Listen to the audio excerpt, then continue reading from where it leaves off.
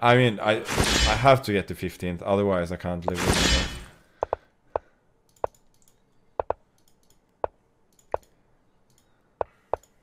We have a t- kind of advanced French here. Mhm. Advanced in the sense that it's only for very advanced players. That- those are the only ones who can uh, understand it. We go 8 a4 in order not to allow b5.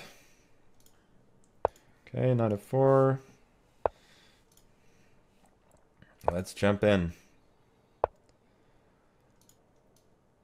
Okay, take. Check. c5. I think I'm winning some material. d5 is hanging in case of a5, bishop b4, and then queen d5. Here also. Uh, it's getting some tempi though, but I think it's fine. We'll take it. Oh!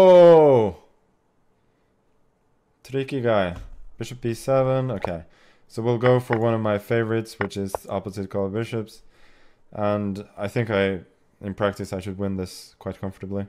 You also have one opposite color rook right now. Which is nice. That, that is, that is that is uh, that is true. Yeah. Something only the real connoisseurs would, uh, would uh, notice. The important stuffs. Okay. Oh, I had bishop b4 there mating, but now I'm mating regardless. Okay, one more game. That was nice. Uno, game. uno, uno más, uno más.